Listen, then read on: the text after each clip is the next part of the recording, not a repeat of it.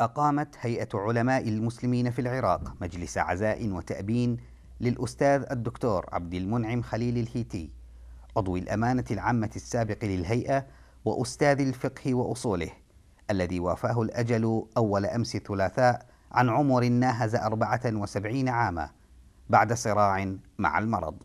نعزي أنفسنا أولا بوفاة شيخنا وأستاذنا الشيخ الدكتور عبد المنعم خليل الهيتي وهو من رجالات العلم آه الذين قضوا حياتهم بالعلم وطلب العلم. وكما هو معروف ومعروف لدى الجميع أن الموت موت العالم آه وموت أهل العلم آه إنما هي مصيبة كبيرة. يقول الله سبحانه وتعالى ولنبلونكم بشيء من الخوف والجوع ونقص من الأموال والأنفس والثمرات. وبشر الصابرين. الذين إذا أصابتهم مصيبة قالوا إنا لله وإنا إليه راجعون. أولئك عليهم صلوات من ربهم ورحمة وأولئك هم المهتدون. واستقبل أعضاء الأمانة العامة ومجلس الشورى والعاملون في أقسام الهيئة في العاصمة الأردنية عمان جمعا كبيرا من أبناء الجالية العراقية والشخصيات العربية من بينهم علماء وأكاديميون ووجهاء وطلبة علم وفدوا جميعا لتقديم واجب العزاء. نتقدم إلى إخواننا علماء العراق وإلى شعب العراق وإلى هذه الأمة الإسلامية وإلى علماء المسلمين في كل مكان.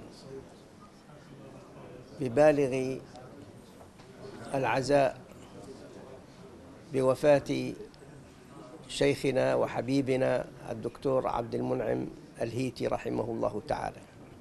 هذا الرجل الذي لم يكن خاصا بأهل العراق وحدهم بل هو حالة من حالة العموم.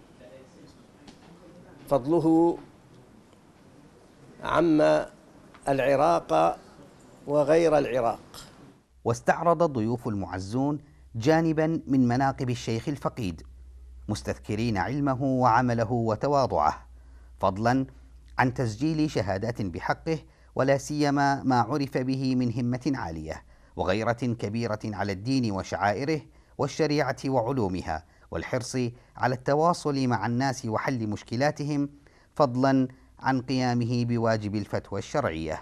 فقدنا في هيئة علماء المسلمين وفي العراق عالما عاملا بعلمه وفقيها ومفتيا بذل الكثير من جهده ووقته وعلمه في سبيل حل مشاكل الناس والتواصل معهم وإيصال العلم النافع والصحيح لهم. لقد كان الدكتور عبد المنعم الهيتي قيمة علمية ومنارة فقهية قلما تتكرر.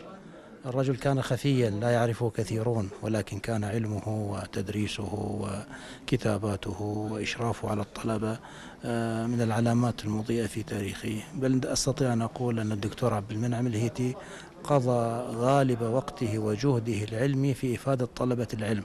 حتى انشغل عن نفسه وعن التأليف وعن البحث بالصورة التي كنا نتمناها. ولكن جهده على الأرض في الطلبة الذين خرجهم وهم بالمئات يدل على متانة علمه ويدل على صدقه ونحسبه على ذلك.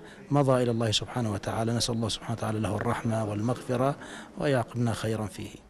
ترك الشيخ الفقيد رحمه الله إسهامات علمية مهمة حيث درس خلال سنوات عطائه العلمي مواد العلوم الشرعية من بينها التلاوة والتجويد وفقه الحديث والأحوال الشخصية إلى جانب الفقه المقارن وأصول الفقه وأحكام الميراث.